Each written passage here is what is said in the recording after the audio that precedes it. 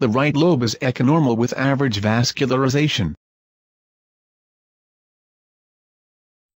There is a small hypoechogenic nodule in the ventral part of the left thyroid. The nodule is shown on the longitudinal scan.